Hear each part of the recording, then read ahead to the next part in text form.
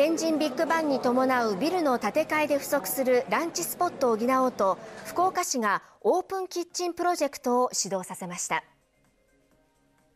出店屋台じゃないですけれどもあのこうしたものがあるとあのとても活気にもなりますしね。あのまた街にこういい匂いがお昼漂ってくるっていうのもあの楽しいですしね。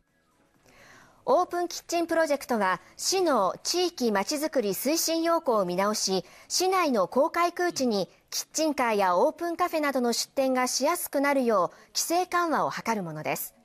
第1弾として天神ツインビルや福岡銀行本店ビル福岡大名ガーデンシティなどの公開空地が選ばれ特に天神ツインビル前では今日から日替わりでキッチンカー7台が出店し美味しそうな匂いを漂わせています。